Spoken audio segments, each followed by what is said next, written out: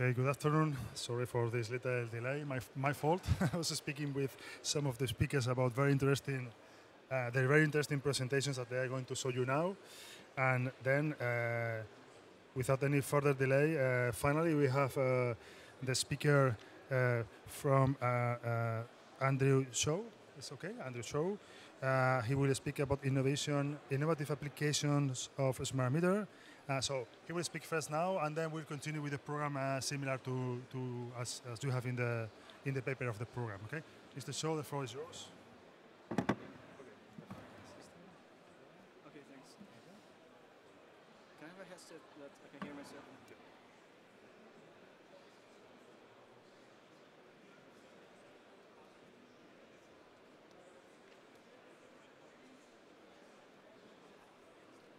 Good afternoon.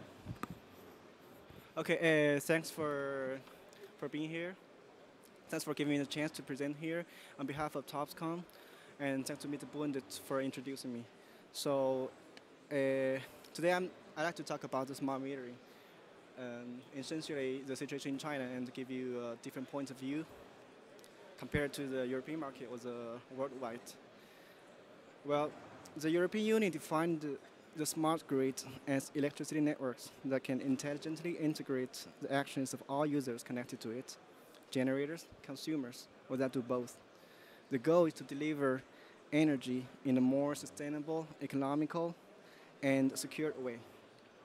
Our company, Topscomm, has been dedicated to the process of digitalization in the aspects of smart metering and PLC communication, providing products for the whole industry chain. We were founded in 2008, and it was also the time when the concept of smart metering and the smart grid started to emerge and popularize. Well, today I would like to share with you what we think of smart meter and uh, what we have contributed to the digitalization of smart grid during our 10 years of development, as well as uh, on-site operations, and also what our visions are for, for the future of smart metering? Well, smart devices or smart systems have been a buzzword in the techno technology world during the decade. In smart metering industry, we consider that the word smart has a lot to do with data. Horizontally, the meter is smarter when it measures or receives more data or bigger data variety. And vertically, the meter is smarter when it involves more advanced technologies to process and analyze this data.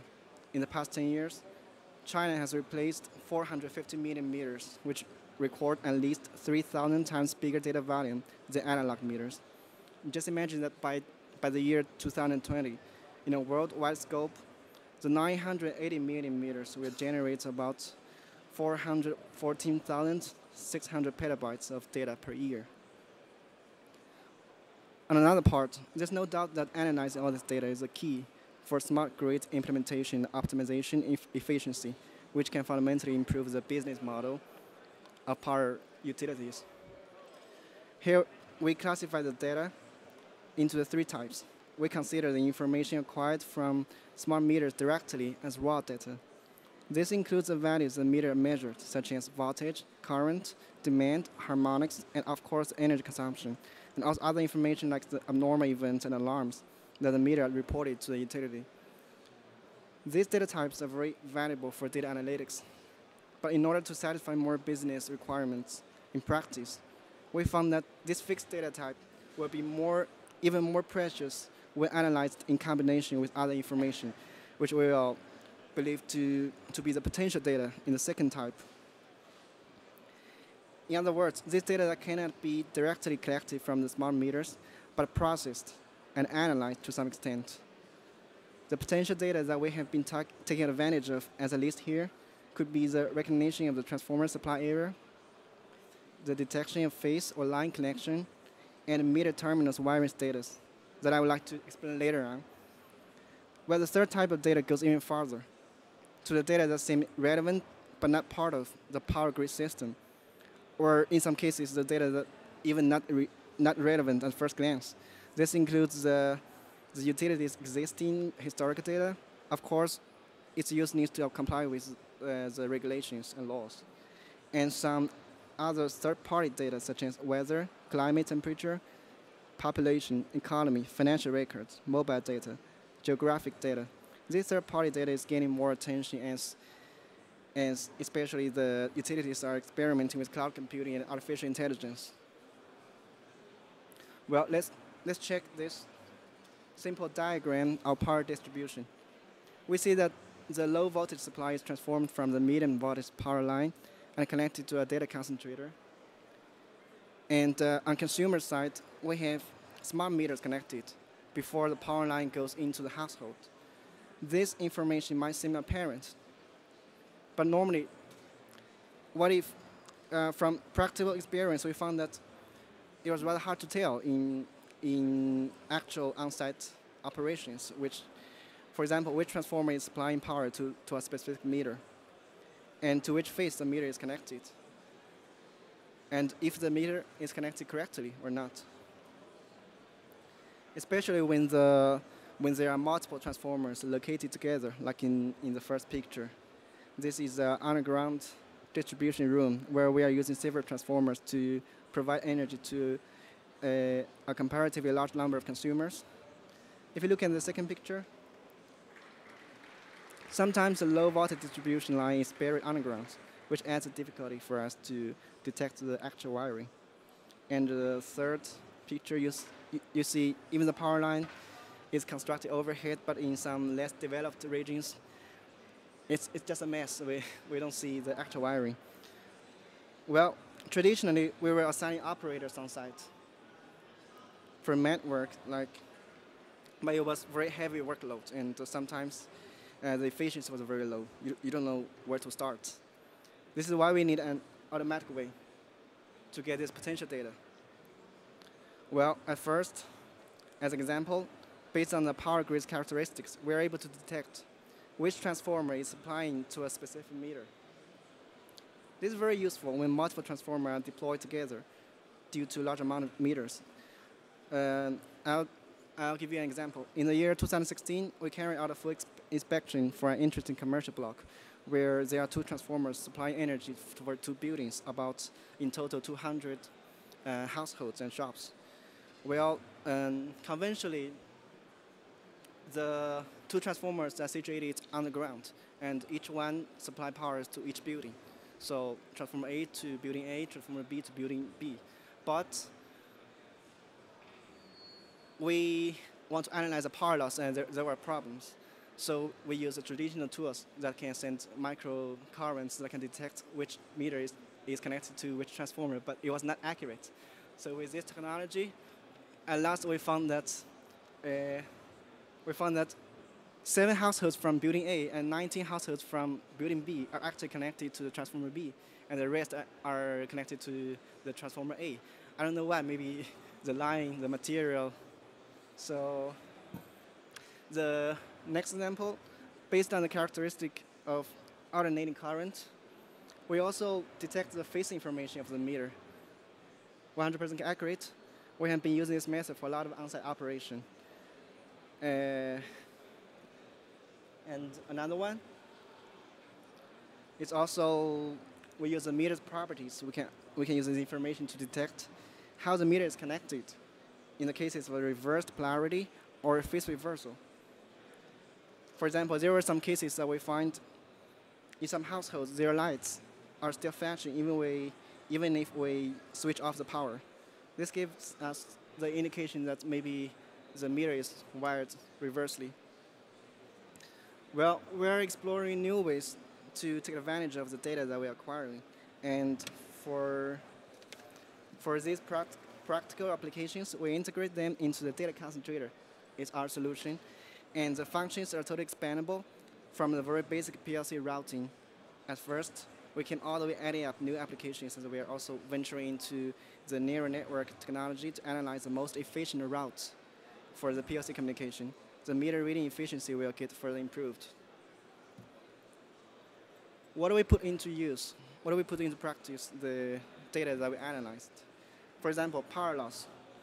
I think I remember numbers that the annual power loss in in money would be 96 billion or 9.6 billion. I don't remember clearly. and worldwide every year. The technical and non-technical loss of energy could be classified in the transformer loss, which means the loss in transformer error, and the loss on the distribution line or phase, and the loss caused from incorrect metering. These are just what we classified using the technology that I said just now. And uh, by visualizing the loss by transformer or by meter, we will be more effective by reducing the losses. This data can also be used for the analysis of meter ab abnormality. For example, if you have tampering, the fault meter, the damage meter, or the wrong wiring, we, we will have events or alarms that reporting to our system, to our, the informatics system we provided for the utilities. Well, it can also be used for the identification of home appliances. It's not commercialized yet, but uh, we're doing pilots with this technology by analyzing the different power consumption patterns on different uh, machines. We developed algorithms to separate this load for more accurate power consumption detection, and it might also help to facilitate the demand side response. Well, this is a picture that I had a screenshot of our uh, power loss. This is about the abnormality events. And uh, this is a load profile analysis. And uh, in the last part, we have this uh, non-intrusive monitoring and load monitoring based on appliances types. We'll analyze the power consumption details of appliances. It will help us to reduce energy waste and uh, for better distribution planning. Well, the, at last, I'd like to share with you what we expect for future of smart metering. For first part, we're finding ways to visualize the data that we acquired or analyze from, a, from a smart meters. We already have the graphs, diagrams, but we, we analyze the data. The most important part is to present them to the utilities and also to the consumer side. This is something we still have to improve. And uh, uh, Another thing we want to do is to modularize the smart meter. How to explain this? One trend of meter developing is to add multiple functions. You add functions to the meters more and more, like, like the smartphones that we have now. But we're also thinking of the reverse, reverse direction. We can also modulate the meter to make the functions in different modules. So we can add this module, add this function. If you don't want to use it, you can just unplug this module. In this way, we have more expandability. And uh, if, if one module is broken, you don't have to replace the whole meter. Also lower the cost. So, well, the last part, it's also important to forecast incident with the data that we have. And, well, you know, it's not common for news such as transformer exploding or, or some damage. If we use data into good use, so we can pre predict them. Well, that's all my presentation today. If you have any questions, you can ask me. Also, also our developers are here. Uh, Dr. Dr. Delft here, who developed this. Yeah.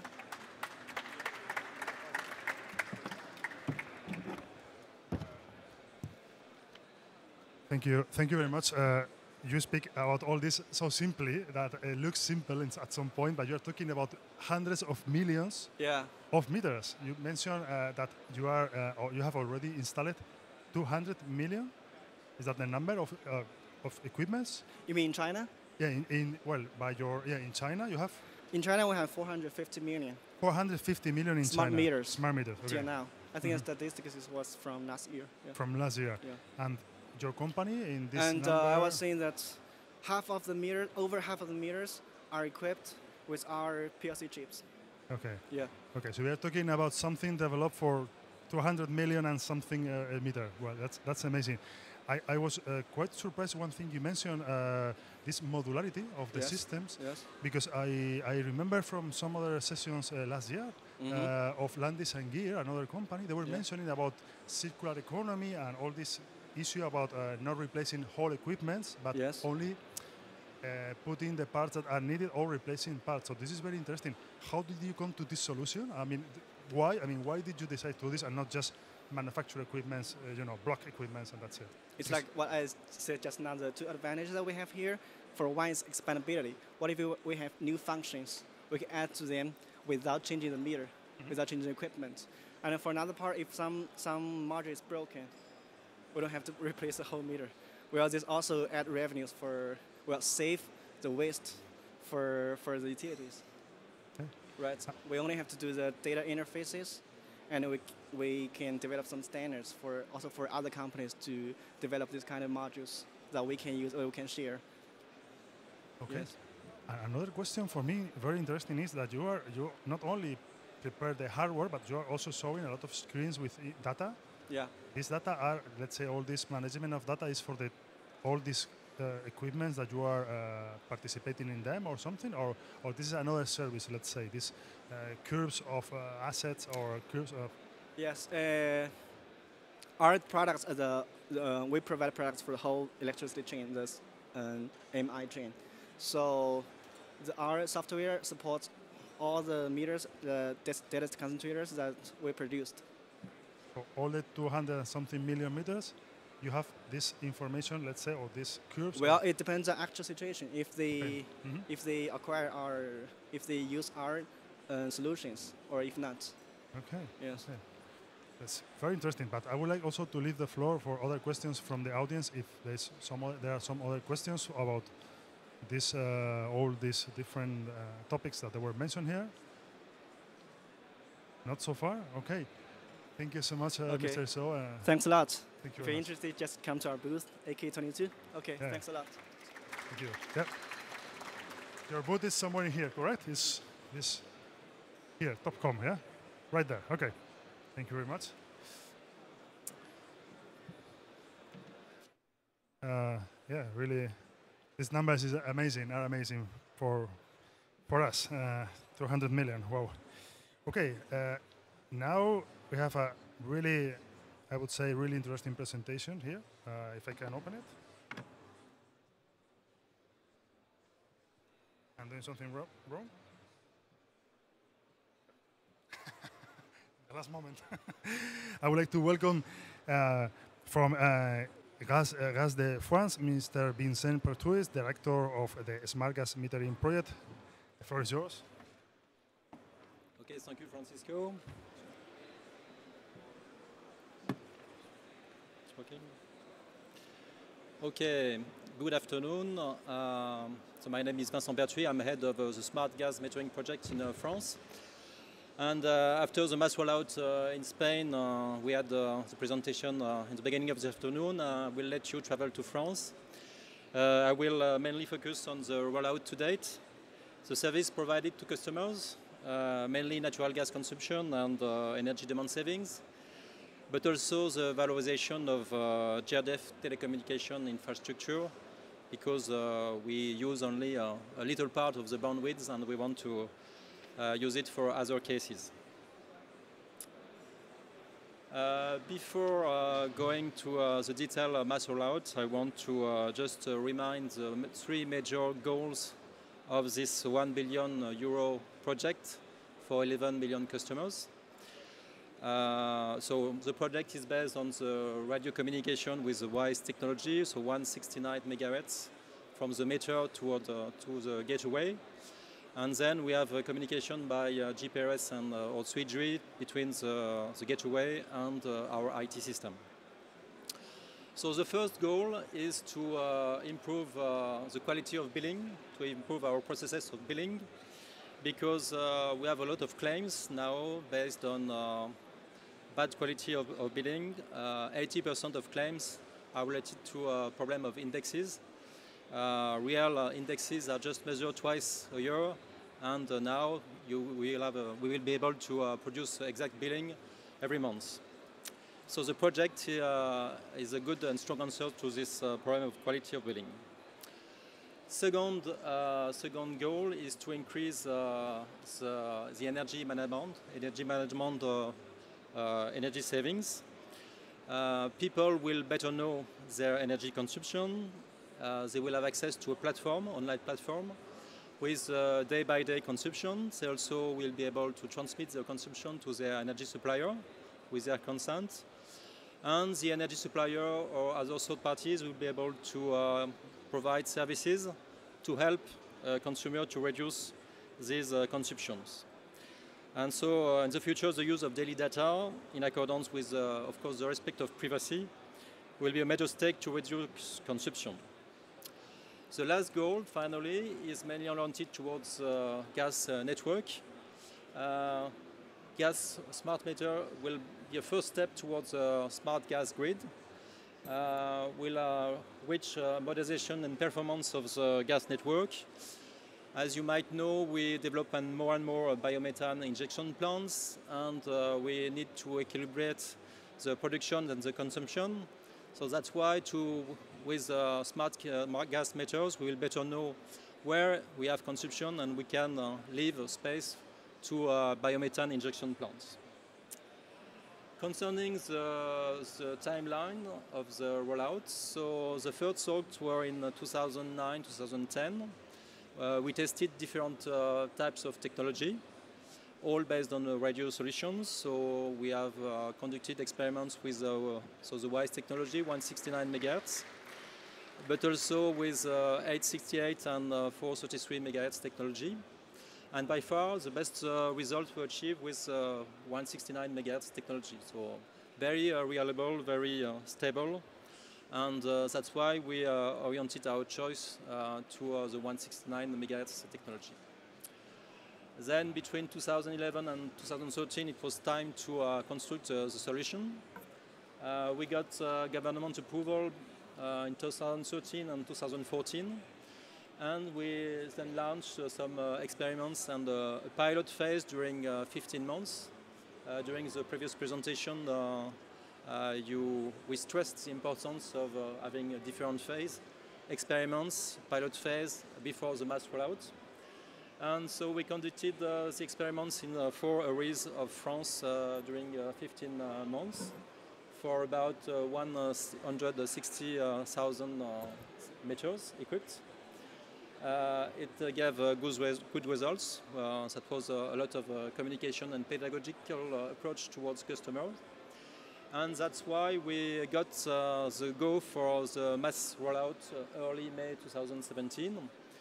And uh, we are now uh, in this phase of mass rollout uh, since uh, 18, for, for, for, 18 months. And it will last, so the industrial regime will last three years now, so 2019, 20, and 21, before a decrease of 50% 2022, and we plan to achieve the, the mass rollout early 2023. So uh, we have not finished uh, like in Spain, but uh, we are on, on the way. It's working well, and uh, we uh, expect also to, uh, to finish on the timeline of 2023. So what about the rollout and what have been done during 12 months? So, so far we have installed 2 million smart meters on the field it's going well. You have uh, now the projection of uh, what we tend to install uh, during the next uh, coming uh, years. So the, the, industrial regime means uh, to install 2.4, 2.5 million meters every year during 2019, 20, and 21. we also have installed on the field more than 3,500 gateway. the target is between 12 and 15,000, depending of uh, Uh, how we can reach the meters with uh, the gateway. Uh, to do this, we have uh, 18, uh, sorry, 800 technicians working on the field daily to secure this mass rollout. This means in the industrial regime, 10,000 meters installed per day, 200,000 per month, and we respect the schedule and the cost so far. Uh, about radio technology, it's uh, reliable, it's simple, it works uh, well. And about customer acceptance, we have a good acceptance with less, one, less of 1% of refusal. Uh, because we have uh, always wanted to uh, apply a cooperative approach with all the stakeholders. And also the experiments led with the French Agency for uh, Energy Saving shows that the results of energy savings, so the second goal, are online or above uh, the business case. So now uh, where we want to stress uh, the cooperative approach, uh, it's uh, a key factor of success for the, the project. local stakeholders have a key role to facilitate customer acceptance. during the pilot in 2014, Uh, we launched dialogue committees with uh, in the four pilot areas with uh, local energy agencies, landlords, customers, uh, customer representative, association, local governments, and it helped a lot because citizens sometimes don't trust industrial, but they really trust stakeholders like local representative. The goal of these committees was to inform also the stakeholders of the possibility of uh, using consumption data to uh, achieve the, the, the, energy saving objective. Uh, indeed, uh, thanks to uh, Gazpar uh, data, the local governments and the public landlords will have access to aggregated and anonymous data at the district, district level or at the collective housing building level. So it will help the local polity to reach the energy saving target. So let's move now to the management of uh, data. Uh, gas distribution is a public service and we have to uh, comply of course with uh, to fulfill the, the, current regulation and our role is really an equilibrium between uh, facilitating access to data and also ensuring the confidentiality and the security of data it's a very key point in France. People are very sensitive to uh, the security uh, and the quality of data. Uh, you heard a lot about of uh, data problems, but in France we have to comply with the regulation. And we are also controlled by the French National Commission for Information Technologies and Liberties. And this is a real, very strong investment for us. So in this regulation frame, what kind of data uh, uh, we provide? So we, we provide uh, mainly three kinds of the data. First is uh, open data, uh, available for everyone to share and to improve. These data are available online on our platform, uh, GRDF. Uh, and the second kind of data is aggregated data, not online, but on demand.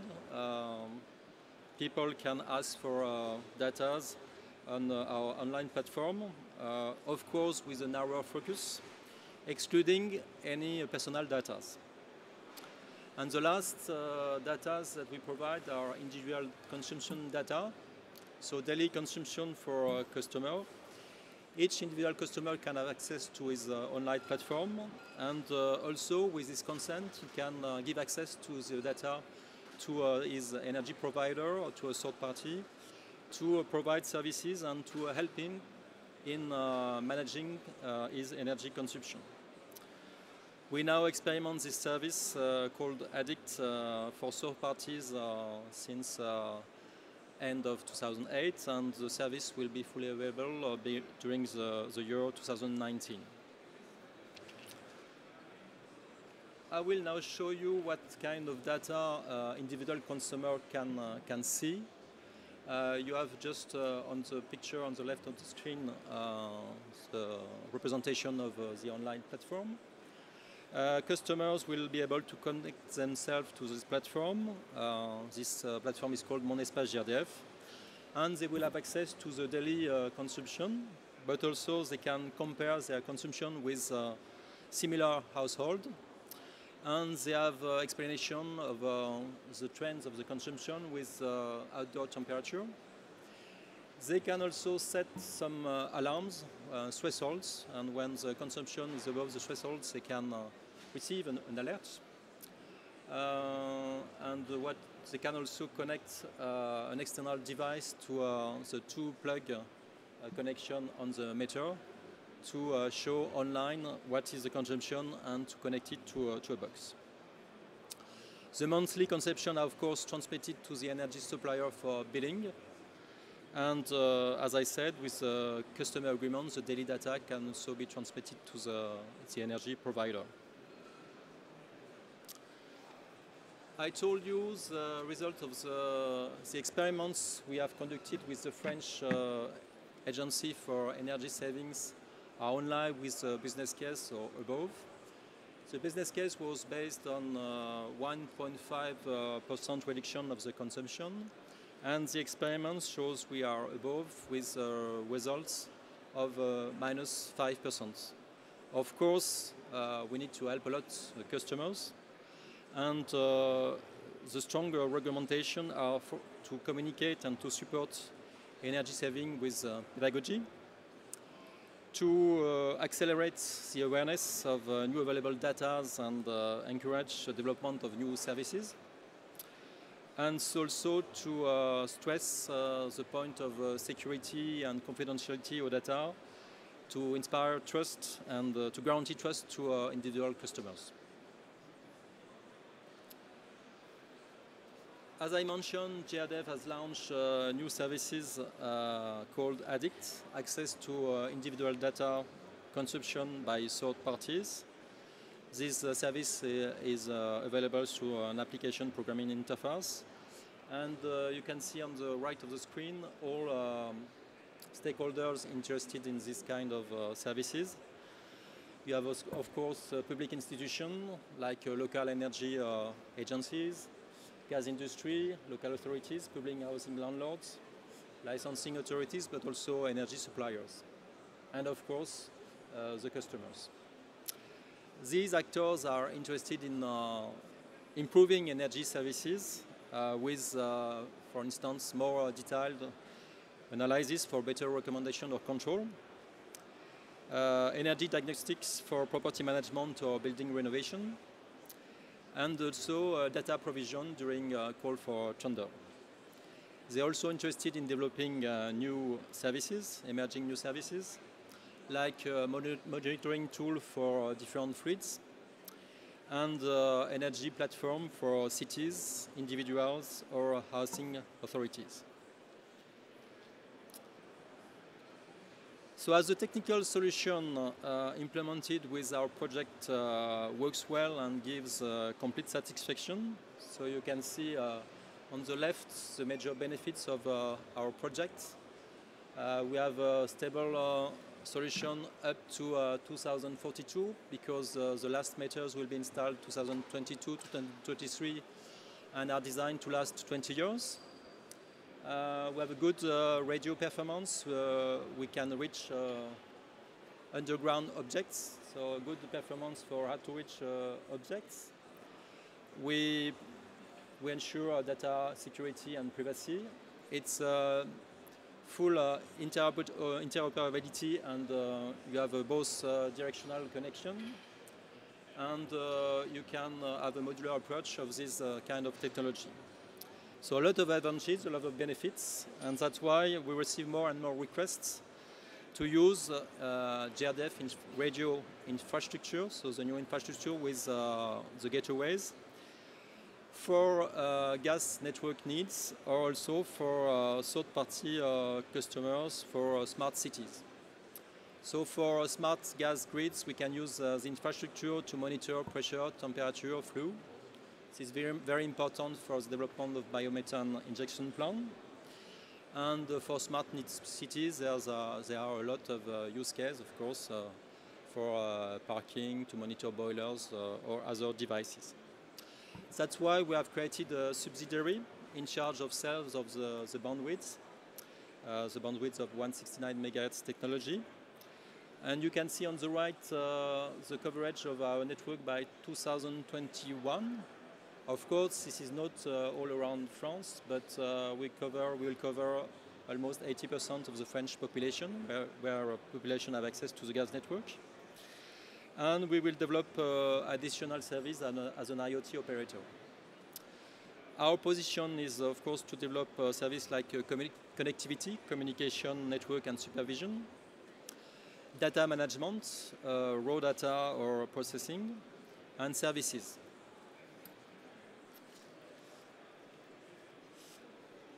I will now move to uh, the, the, context on the development of smart cities. Uh, as I mentioned, the use of uh, 169 megahertz technology is very interesting, and it of the radio network offer very good uh, features. And there is also a huge demand to, of new solutions to address smart city challenges. That's why GRDF founded in uh, 2017 with our partners Sagemcom and uh, uh, Suez Smart Solution, active in uh, water, smart uh, water metering, the Wize Alliance. Uh, the status is the following. We have now 4.5 uh, IoT objects using this technology. And we expect uh, more than 15 million by 2022, 4 million for water, and uh, as I mentioned, 11 million for gas. We are active in uh, 500 cities in 15 countries. So our partner, Suez Smart Solution, is very active also at the international level. And uh, we have so far 40 members coming from uh, eight countries. Uh, the technology Wize can be uh, used as uh, can be self-operated or used with a third-party operator. And of course, uh, above a minimum device, you have an interest to deploy your own communication infrastructure. And for decisions, the total cost of ownership is a major decision-taking factor when selecting an IoT uh, technology. So last, as a conclusion, GRDF has uh, developed a very wide and uh, unique expertise uh, and uh, managed one of the largest uh, gas smart meter program. So we have a dedicated team of experts inside GRDF and outside with our supplier, our partners and uh, we can uh, help you regardless of the stage of your project and uh, to help you on the specific challenges you may be facing. So during the scope of uh, the project at the beginning and uh, we can also offer uh, help during the rollout of the project and we also can offer smart metering system managed as a service. So for this, we have a representative from our international uh, division. We also can uh, uh, show something about the technology. And uh, I invite you to join us on our stand, so All B, and uh, our stand is located C50. Thank you for your attention, and uh, I'm ready to answer some questions now or during the panel session.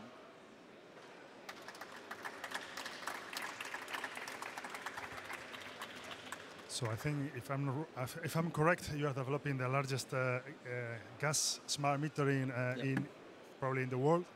Um, uh, I, I, was thinking uh, because you have a gas meter with a lot of uh, different possibilities, let's say, and also you are developing this alliance for exporting outside, let's say, France or outside the, the your area of influence now, but. this all, for example, the, the core, which is the smart meter equipment, is you are developing also the smart meters or you are working with one equipment or several equipments? Because I see for example I remember Iberdrola was working with like nine different manufacturers. I know Enel for example was with one. So what is in this sense the strategy? Because it's interesting. Yeah the strategy of um, the supply chain and the specification is a, is a key point. I agree. Um, our step was first to test different kind of technologies all based on a radio, so 169, uh, 868 for 33. And then uh, we decided to choose 169. Uh, we defined our own uh, specific uh, standards.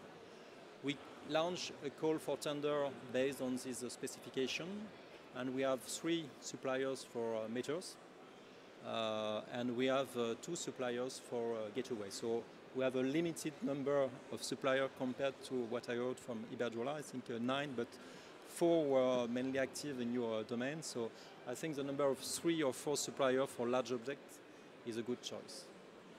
And having two uh, less than three or four, it's a risk for your supply chain. Having more than four or five is difficult to uh, control, to manage. And uh, so three or four for a large number of objects is a good uh, thing, good position. Okay, and for the second question, and then I open to the audience.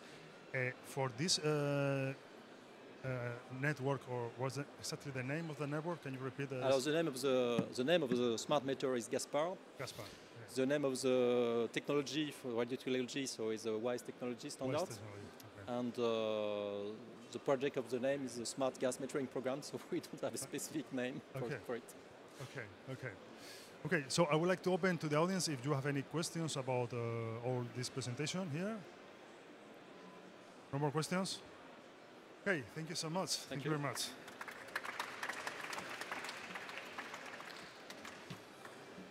Okay, and now uh, oh.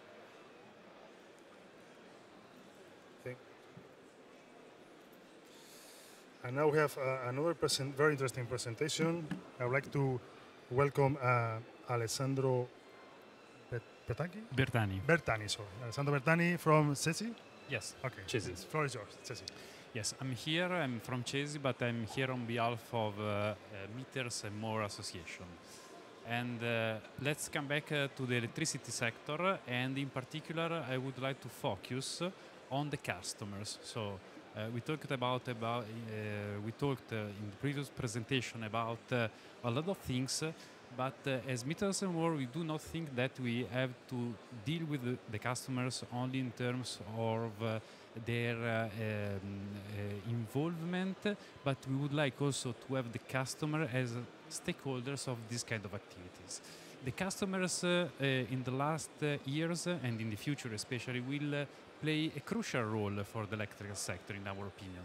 So uh, you know that in some countries they are called, they are recruited in some way in order to participate uh, in the ancillary services of the network.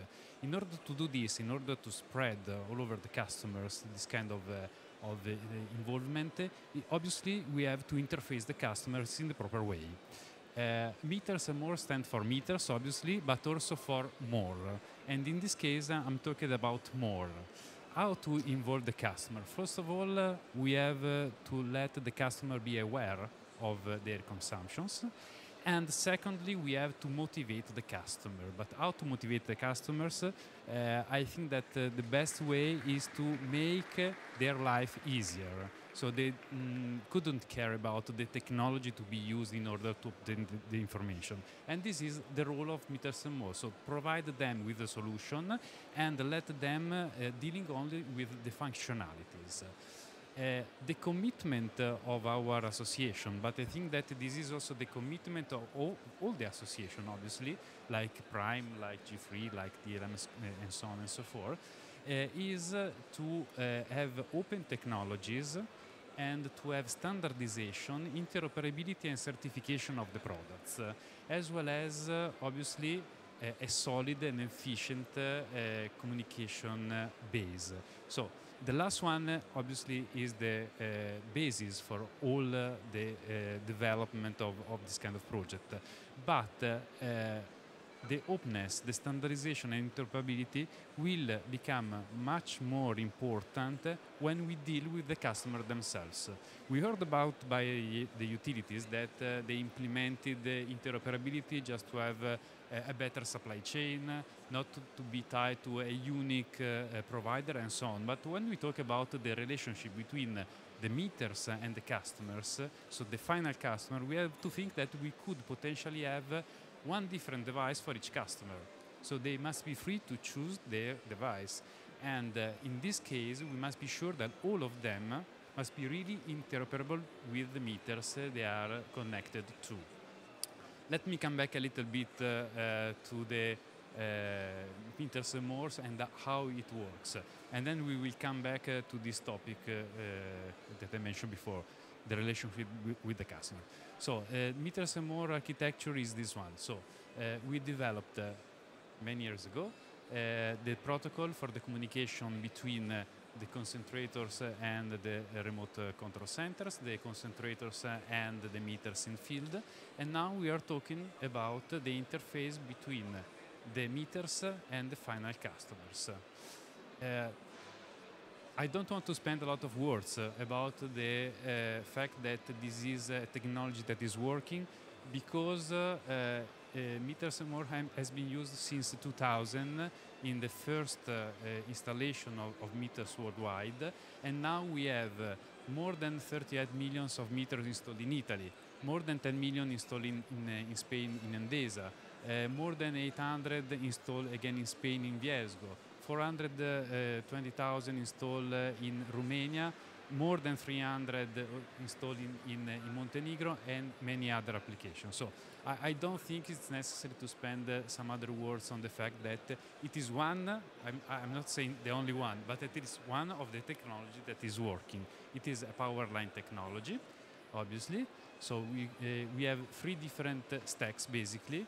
Uh, meters and more can work on power line, but it can work also on public network through TCP/IP. And we developed also a conversion conversions layer towards the DLMS COSEM. So this is the so-called SMIT protocol, vertically integrated, up to the power line. And we have also another stack that is the, uh, uh, that is the, the, stack that is that use also the DLMS COSEM. Uh, again, why and how to open and involve the customer in such an infrastructure. This is the uh, normal chain, let's say, the common chain that we already heard in the previous presentations. So we know that the meters have been installed in order to let the utility to measure the customer's consumptions and now also to acquire the profiles of the customers. But the meters can be exploited also in other way. If we have a gateway, an in-home gateway, we can collect information from the meters. And I'm not talking only the load profile, but we could also interface the meter with a, a higher sample rate in order to allow, for example, some other application at customer side. Uh, this chain is a perfect answer to the needs of the utility, but we do not know what could happen here. For example, if you want to have a clear picture of, the, of, of your uh, consumption, I mean, uh, uh, if you want to disaggregate, I heard uh, from the Chinese colleague that uh, they perform something like this. If you want to have a better knowledge of what uh, what happened in, in your house, obviously uh, acquiring the load curve is not, is not sufficient. So you have to uh, interface the meter with a higher uh, sample rate and decide what to do with, with obviously your, your, your own data. Because we have to remember that these data are used by the utilities in order to produce the invoice, in order to manage in a safety way the, the network, but these data are owned also by the single customers that can be uh, can, can decide to uh, use this data in order, for example, uh, be part of, uh, of a, a, a larger uh, functionality involving, for example, more than one user in order to provide, as I said, some uh, um, some services to the network.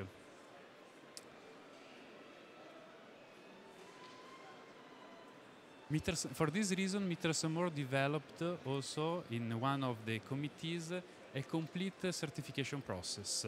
And we're talking about uh, certification for uh, finished products, but also certification for basic components. When we talk about finished pro uh, products, for example, we are talking about meters, so the complete stack. And when we are talking about the data concentrators, again, the complete stack, but uh, Meters and More offers also the possibility to have the certification of some parts, some specific components that can be used in different devices. And again, key points for the compliance certification is the availability, obviously, of uh, technical specifications, and we develop this kind of specification in a specific committee, and the availability also of a, a testing tool that we call the Meters and More test tool that is available for all the partners. We have also uh, some technical committees that uh, follow day by day the development uh, of, uh, of the uh, procedures for the certification and uh, we have update we have periodical update of the procedures and the documentation. And by the way uh, obviously there are also some uh, accredited laboratories. In this case I represent one of them that is CESI where you can perform this kind of activities.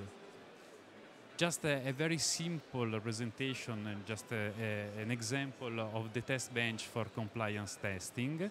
Uh, these schemas can be applied both for the certification of the final products uh, and the certification of uh, the, the, components. And uh, as you can see, you, you have to start from uh, the physical layer. Obviously, you have to interface uh, your, your system with the proper uh, line impedance stabilization network, uh, variable DC attenuator, power line coupling circuit, and so on. And then here is represented the Meters and More testing tool that enable you to perform such kind of certification. Uh, we decided internally in the association to um, accreditate some laboratories in order really to obtain uh, common results from this activity. So we decided not to let to each uh, partner the availability to perform their own test because it's very important to have some results that are common results uh, coming from the same uh, procedures uh, and also some accredited laboratories that can guarantee uh, that all the operation can be done in the proper way. And let's come back to the Italian case because uh, I started with the involvement of the customer, but uh, in Italy, you know, we started in 2000 with the first installation of the meters. Uh, we collected the results uh, of this project because we are in the second wave now. So there, are, there is an utility that is Enel that started two years ago the installation of the second generation of smart meters. So now we are talking about uh, some results that are not just perspective. They are real data coming from the summary of 15 years of operation of this system. And now we are in the second generation, in, the, in the installation of the second generation of the meters. Uh, before uh, the installation of the second generation, the authority uh, gave some guidelines, uh, so some requirements for the new meters. among them, there is also the, uh, it's mandatory to have not only the first communication channel to the utility, but the meters must have another communication channel that is called chain 2 and this chain 2 but, uh, can be used in order to interface directly to the client. So all the meters installed in Italy from now on should allow the customer to communicate through an independent channel to the meter just to avoid any kind of uh, uh, interaction or problems caused by this second channel to the first one that is used for the remote reading.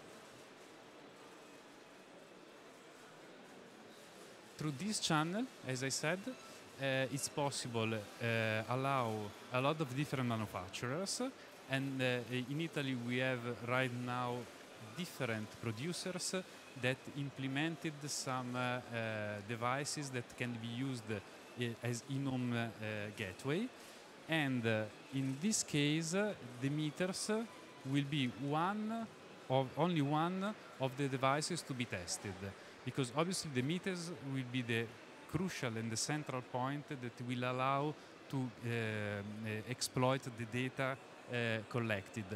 But this is uh, only one of the devices that must be tested because all the other devices must be tested together with the meters in order to prove the real interoperability because between this device and the, the in-home gateways. Uh, as I told you, uh, in Italy, we set up a specific committee uh, belonging to the Italian uh, uh CEI that is uh, uh, in charge of developing the protocol. Meters and More has been adopted as a physical and data link layer for this protocol and uh, the uh, application layer chosen for this application is the DLMS COSEM, so fully uh, supported from the stack that I, I, I show you. And uh, obviously a lot of different use cases has been developed. Uh, new use cases will be implemented in, in the future, obviously according to the requirement not only of the utility but also, for example, uh, the customers and so the fourth partner that could be involved. Let's talk, for example, about aggregators because uh, in parallel there are some uh, uh, pilot projects where the customers are aggregated in order to try to perform and to give some ancillary service to the network. This is a separate project, but obviously they are going in parallel because one could be the basis for the other in the future. And as I told you, another important thing is that in Italy it is not allowed for the utility to give services directly to the customers, just in order uh, to prevent that the distributors could have a position that allowed them uh, to be in a, in, a, in a strength position for, uh, for giving this, such kind of services. So in Italy, uh, only third parties can give this kind of services to the final client. So the utility cannot be an aggregator, for example. And so, uh, again, much more important to have real complete interoperability because surely they will be different different entities and they will play different role but obviously they, they must have in common a protocol that uh, can be used in order to share the information so just to conclude the presentation we think that uh, a crucial role is assigned to the customer and will be assigned in the future. Meters and more, the idea of meters and more of this association is to be in the middle in order to support this kind of development. And uh, for this reason, uh, uh, as association, we developed this kind of, of, of, protocol. And uh, Meters and More offer through its partners also compliance certification procedures and facilities in order to be completely independent.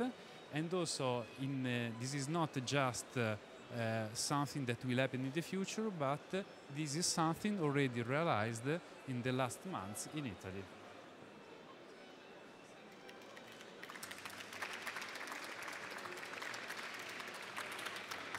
Okay, perfect. Thank you very much. Uh, I'm aware uh, Enel use meters and more for, for I think since the since the last since the starting of their smart metering rollout. Uh, I remember uh, one or two years ago I was in Italy in a presentation of Enel talking about the second generation of smart metering. I know you are Enel is already developing this. How is this linked to all these changes or all these uh, modifications, yeah. meters and more. Well, as I told you, uh, the new meter, that is the DOPE meter, will have two different uh, communication channels. The first one is the second generation and it, it implements uh, again uh, the protocol meters and more. Uh, on the other side, and this is uh, in uh, CENELEC band, C CENELEC band, in A CENELEC band, the same meter implement the so-called chain 2 with this different protocol. Um, you know that uh, uh Enel has chosen some meters that, that can be uploaded. So uh, you can upload a new firmware. So in the first uh, installation uh, they did, they already had some functionalities supporting this uh, protocol. So right now you can use some devices, and we have in the booth also some uh, some examples of this. So some uh, devices, some home gateway are already available in the market. But in the near future, as I told you, it's possible also to enhance and develop uh, these uh, kind of devices and also the meters, updating uh, the uh, firmware of the of the meters and uh, obviously updating also the firmwares of these uh, devices that are at the customer premises. Very interesting because we know they have there are many meters, a large number of meters with meters and more in, in all around Europe and not only in Europe. So it's something innovative, let's say. And I think again, uh, this uh, technology is going ahead in some in some markets, which is quite good. Well, in fact, Enel was, or Meters and More, Enel were one of the pioneers in the in Italy, and of course, this is uh, an experience that you earn.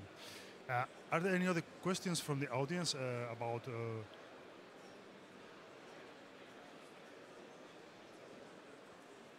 Yeah. Um, I have another question regarding Latin America because we know that PLC is very good solution for good networks like in Europe and so on.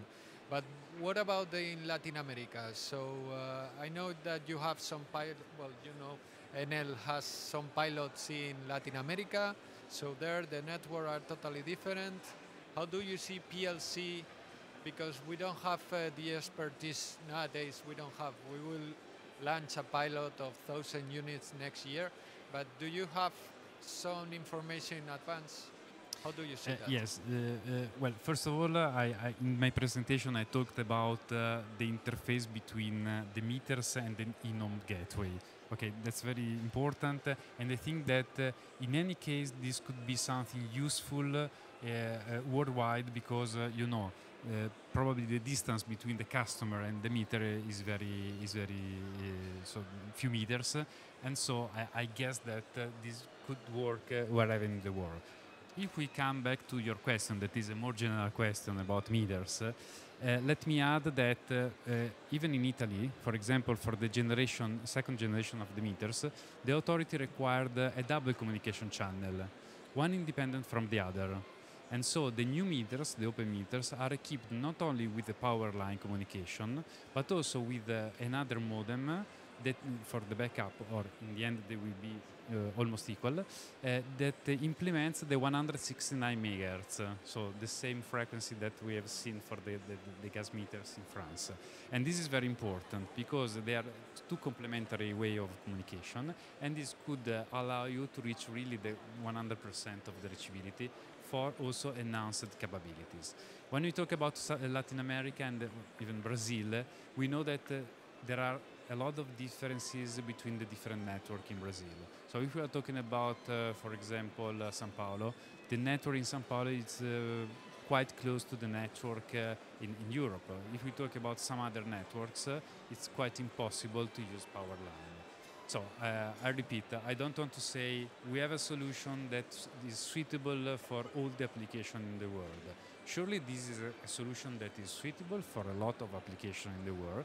My suggestion is obviously to make some uh, assessment, preliminary assessment in order to understand uh, what is uh, uh, what can be implemented or not. In some cases, luckily, it's possible to use a lot of technologies. In some other cases, you have to exclude some of them. I, I heard in your presentation we had the same experience, not like meters more, but like Cesi. In US, you have a few customers for each transformer. And so it is completely not, uh, uh, not feasible, but uh, not fruitful to use, to use power line because you, in Europe you can, you can reduce the order of magnitude uh, because you have more than one, uh, 100 uh, customers for each transformer. When you have three, it's completely useless because you cannot reduce, even if the technology is working you should think about power line on the medium voltage network instead of the low voltage network. So the message is we are proposing something that uh, surely uh, worked in a lot of network. This is one of the technology that can be used. This is a technology supported by now by many uh, partners, and surely there are some applications that we deem very, uh, very uh, suitable for this kind, uh, for this kind of, of, of, of, protocol. And again, for sure the interface between the meters and the home could be one of them because you, you can just plug your your device and uh, without uh, any other issue related uh, for example uh, to, to, to, to, the communication or where the, where the meter is located and so on and so forth. Uh, I didn't mention this, uh, but for example, from the security point of view, it's clear that you have to design some um, some procedures, so some coupling procedures, in order to be sure to have uh, the customer linked only to its own meter. Because obviously, when you, you, you plug your device in the in the in, uh, in the network, you could also access the other meters, the meters of other customers. And so, obviously, we developed a complete procedures in order to avoid this, and so on and so forth. So, for the security, there are some other issues. But it is just a proposal that can be evaluated, obviously, in order to be used. To use all these experiences because at the end, uh, something is the paper and something else is the experience. Okay, thank you very much. Now I would like very quickly because uh, we are running out of time. Uh, the speakers, I would like speakers to come up to the chairs for a for a panel session. So please, I will try to speed up a little bit because my my management. Five minutes. okay, ha, ha, I will have half a question. Yeah? No, we, because we are doing. Uh, yeah, yeah. yeah. Take a seat if you want. Uh,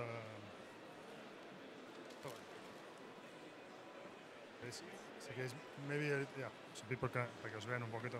Sí. Okay, so, sorry. Yes, please at the end there's one, sorry, yeah, but uh, because here people cannot see you. Yeah. Okay. So uh, first of all, uh, before before asking any question, I don't know if any of the panelists, because I know we have been, been speaking about different issues and uh, you have been listening to each other, but maybe any of you would like to mention something about the other presentations or, or some comments about the, the overall session that you would like to uh, overlight, or would you, would you, like me just to start?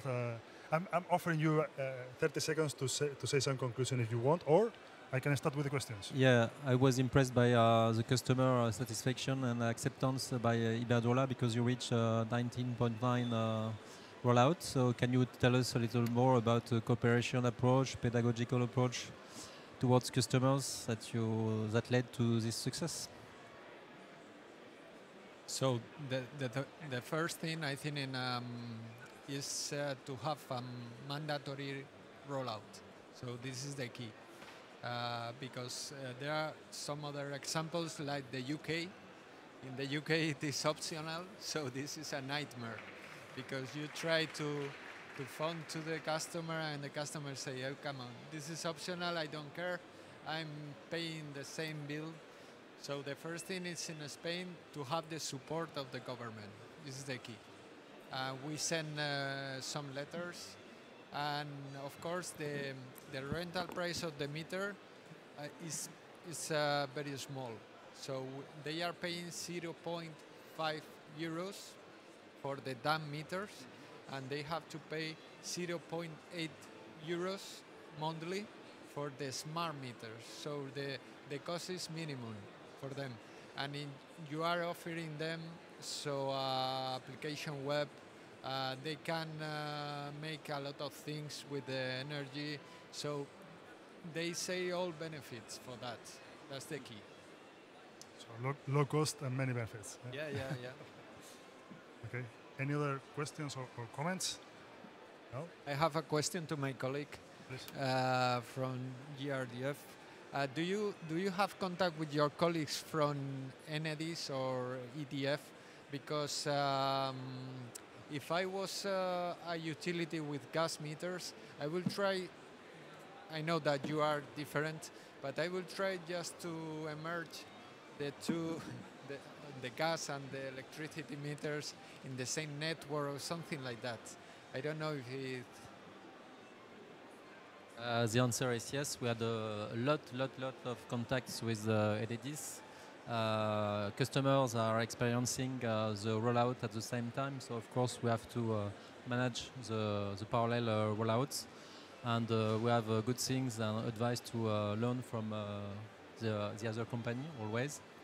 Uh, so yes, we have a lot of contacts at uh, all levels, top, from top management to uh, field management levels. And then the companies, these are two different companies. As you know, uh, metering is strategic because uh, it leads to the turnover of, of the company for uh, DSO. So on strategic on a, a, strategic topic, you can't rely on the other company for your transmission. So that's why we have two different, completely two different systems.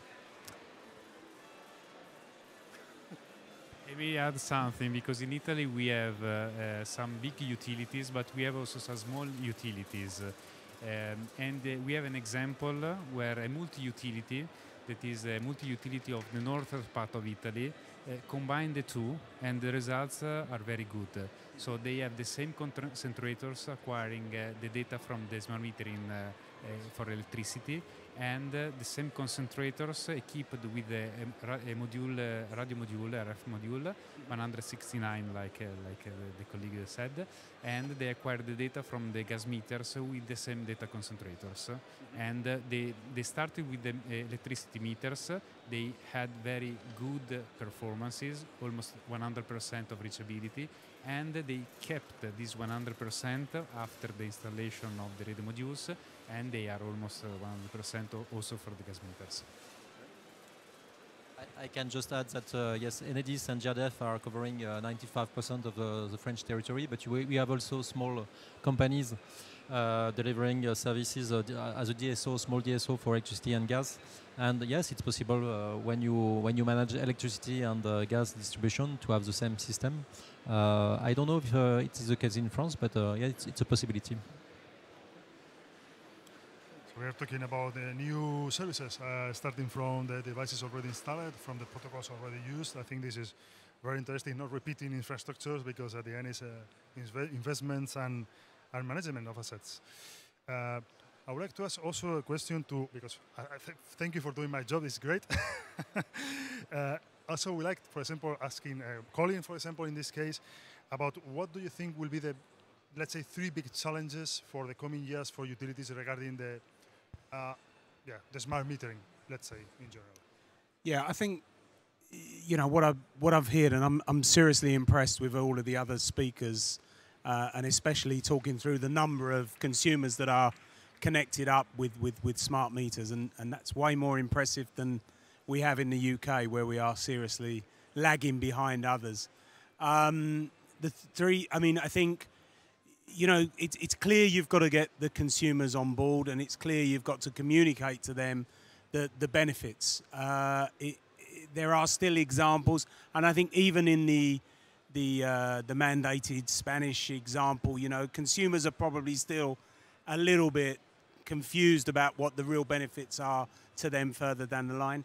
I think clearly security um, is, is a major concern, and, and I know Mark talked about uh, how, how that was solved. And, and equally, I think what, what came up of serious interest as well was the amount of organisations that wanted access to the data. I think that highlights exactly a, a, an important point uh, about all of this, you know. And, and, I guess we've all got the hope that our data is is anonymised uh, and, and protected. But it's interesting to note how many. I apologise, I can't remember which. I think it was uh, from from GRDF, where you you you opened up the data and and the number of people that made requests for access to that data seemed to me to be huge. Thank you. I would like to pass the same, the same question to the next speaker. What do you think about the three big challenges uh, for the utilities in the coming years related to smart metering issues?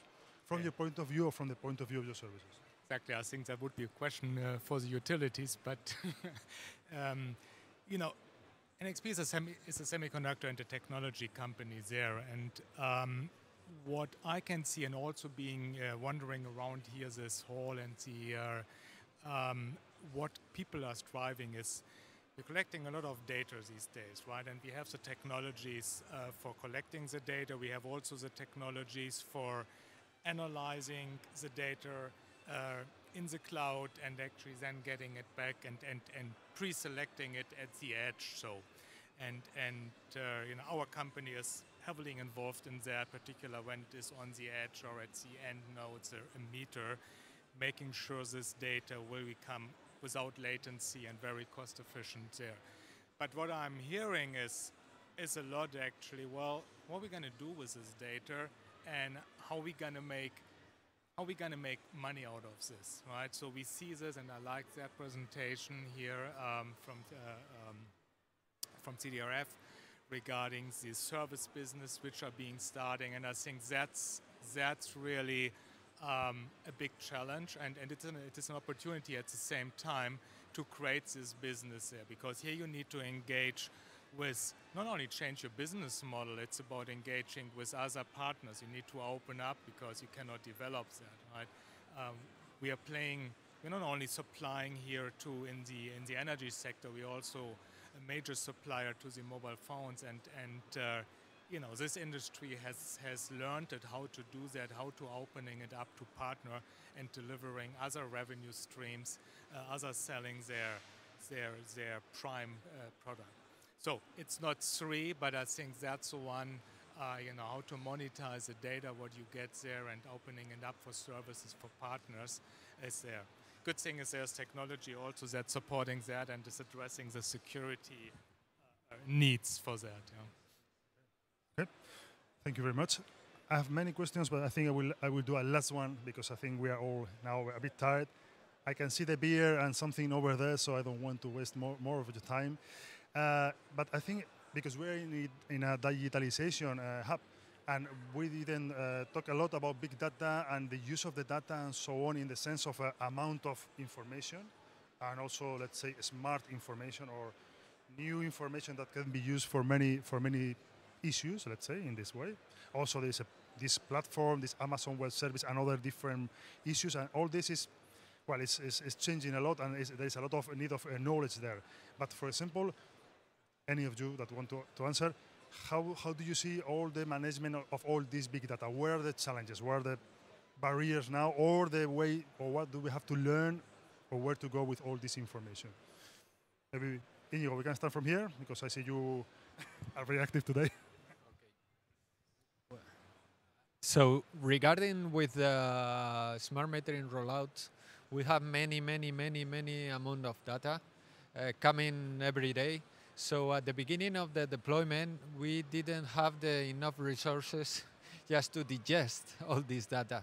But now that we are close to the finalization of the deployment, we are making uh, many algorithms uh, regarding the data just to decrease the losses, uh, decrease the fraud, uh, analyze, uh, anomalize in the meters, whatever. So um, uh, we are using data analytics tools for that, and I think um, it's it's so important just to to read the meters, but also to have time enough to analyze all the data that is coming from the from the meters. Yes, I, I, fully agree. Uh, as I mentioned, um, the physical solution, the radio solution, radio transmission is uh, reliable, simple, and uh, robust. And then uh, the challenge is to digest uh, a huge number of data. We have uh, 11 million, so 11 million of uh, indexes uh, every day. Uh, even more if you get the service of hourly consumption, you multiply by 24.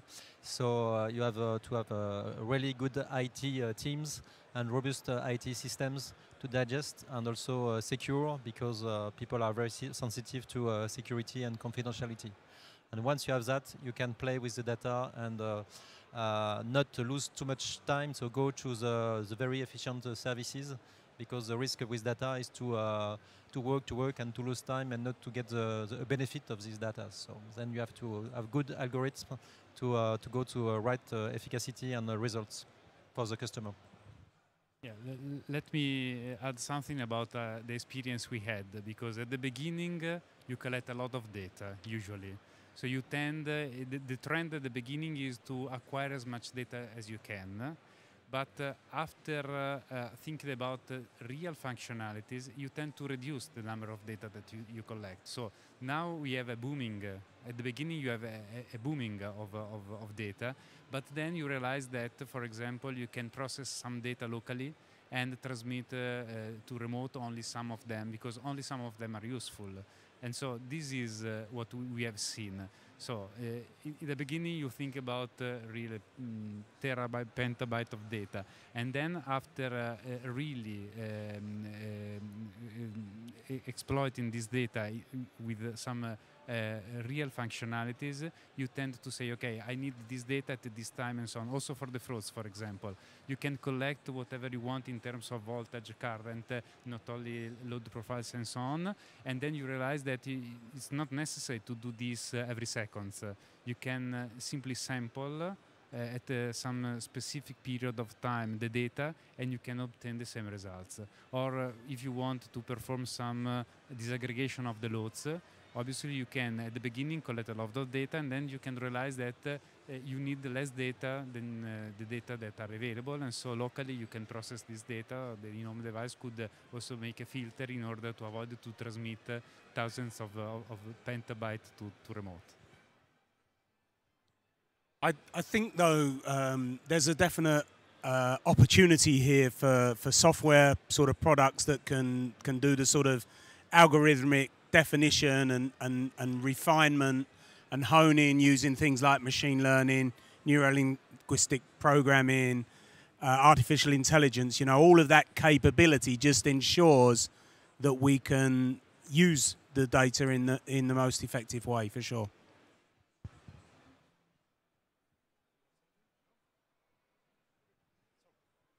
I think okay. Thank you very much. I, I think with this we can finalize the panel. Uh, I would like to thank all the speakers for their time and their very interesting presentations. Really very interesting today and different also, which is I think enriches the hub a lot. Thank you so much to all the attendees that have been here for the last minutes of these uh, presentations. And well, thank you very much.